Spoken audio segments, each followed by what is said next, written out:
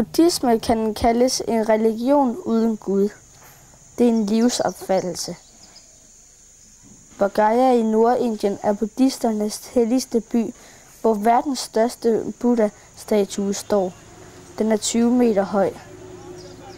Buddha var en almindelig mand, der kom her til Bodh for 2500 år siden.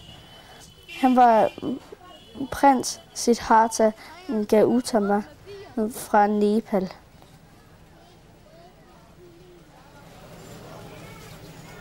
Skal vi have noget at spise derovre i den restaurant?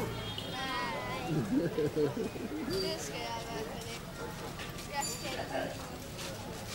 skal vi lige rap spise lektiebrød. Fortællingen siger, at Siddhartha rejste og søgte sandheden om livet. I sin søgen efter sandheden mediterede øh, han i en hule ikke langt fra Bodh i seks år. Senere kom han til Bodh øh, hvor han mediterede under Bodhi-træet. Her blev han oplyst og fik navnet Buddha. Det betyder at vågne op og få indsigt. Buddha betyder også den oplyste. Buddhismen startede her i Bodh og Buddhas lære har siden spredt sig over hele verden, især Asien. I dag regner man med, at der er omkring 500 millioner buddhister. Maha Bodhi-templet blev bygget ved siden af Bodhi-træet.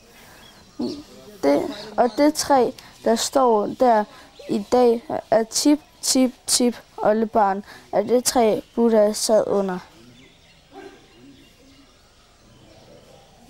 De troende kommer hertil for at militere og studere Buddhas lære. Troende skriver en bøn på et bedeflag, så bønnen kan flyve med vinden. Bedeflagene har fem farver med hver sin betydning. Blå står for kærlighed til alt og alle. Gul for mod, rød for styrke, hvid for renhed og orange for vejen til oplysning.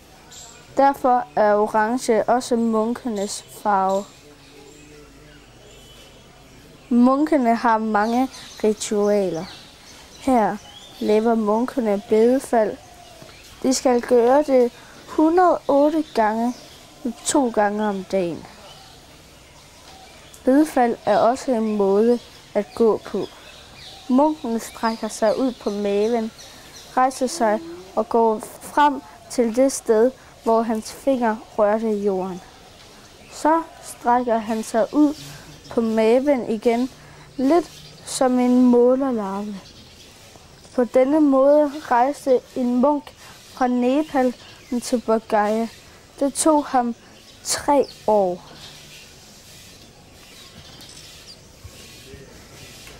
Jeg har prøvet at lave 50 bedefald, så måtte jeg holde pause. Det er hårdt arbejde.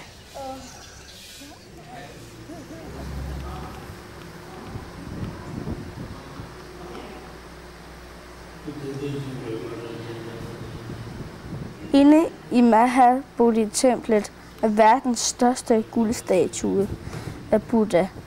Det er et meget helligt sted.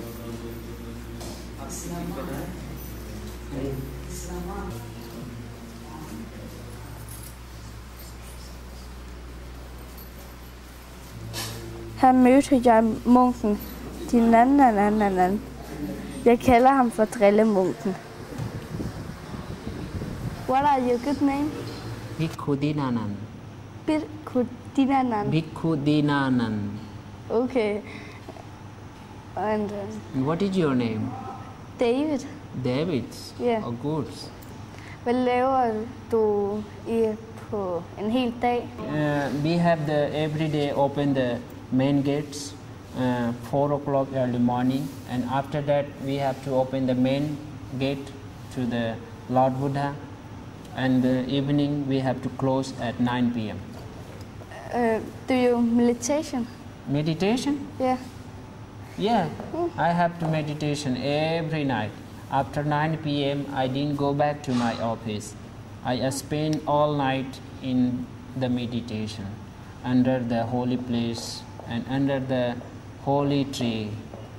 But uh, actually, in during the rainy season, according to the monks' rules, uh, uh, we have a uh, within one year, three months, the monks will uh, stay and on one place. So I try to meditate three months, continue at the night time. Hvor lang tid har? Lunch, my lunch. Nå, hvor lang har du været i templet, eller været munk? When I was 14 years old, that time I became novice. And in 1998, I was get the high ordination. I mean the bhikkhu. Oh, er piku?